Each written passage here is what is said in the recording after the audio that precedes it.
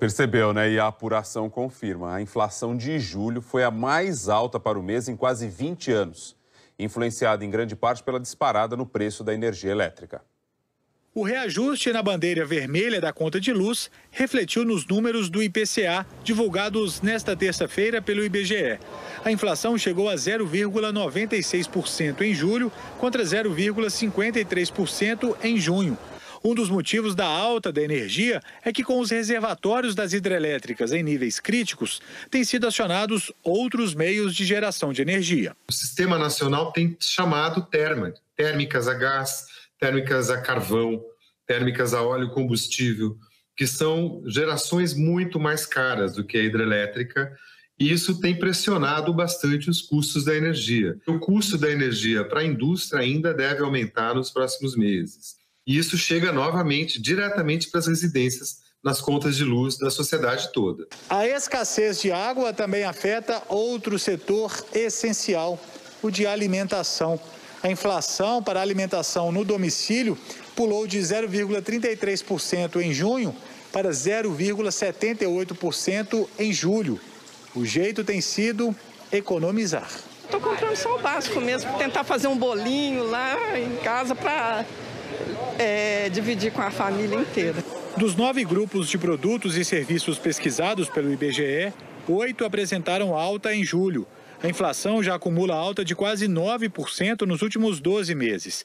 Está cada vez mais longe do teto da meta do governo, que é de 5,25%. E nos próximos meses, a situação não é de alívio. As expectativas é de continuidade, principalmente nesses dois grupos, alimentação e energia elétrica. Com a vacinação, a campanha de vacinação é, avançando e a, a economia reabrindo mais intensamente, a gente vai ter uma, uma, uma, revisão de preços do setor de serviços, que ficou congelado ou deprimido durante os períodos mais agudos da pandemia.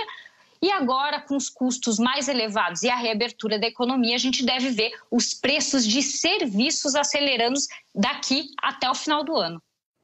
Essa alta da inflação é o tema do comentário de Carlos Alberto Sardenberg.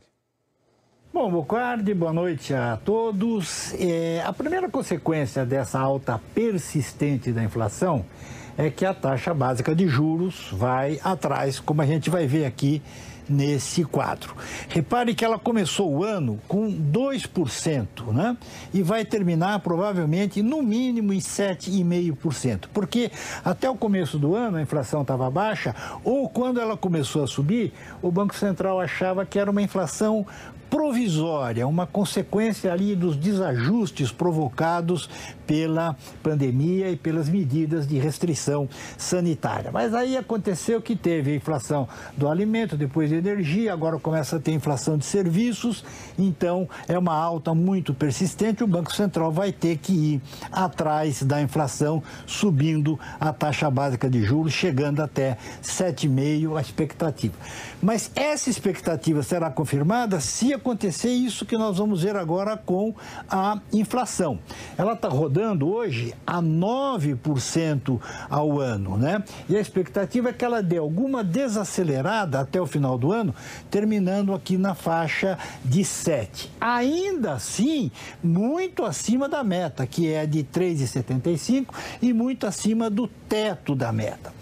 E a expectativa fora do governo, no setor privado, é que para o ano que vem a inflação volte a quase normalidade. A meta é 3,5 e chegaria aí ao final do ano com 3,84, mas com a taxa de juros ainda é, muito elevada.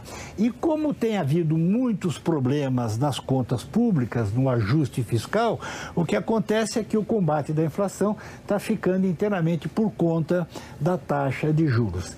Ela vai subir, os títulos do governo vão pagar mais, a dívida do governo vai subir e o governo vai gastar mais com juros. Essa é a situação em que nós teremos daqui até os próximos meses. Bocardi.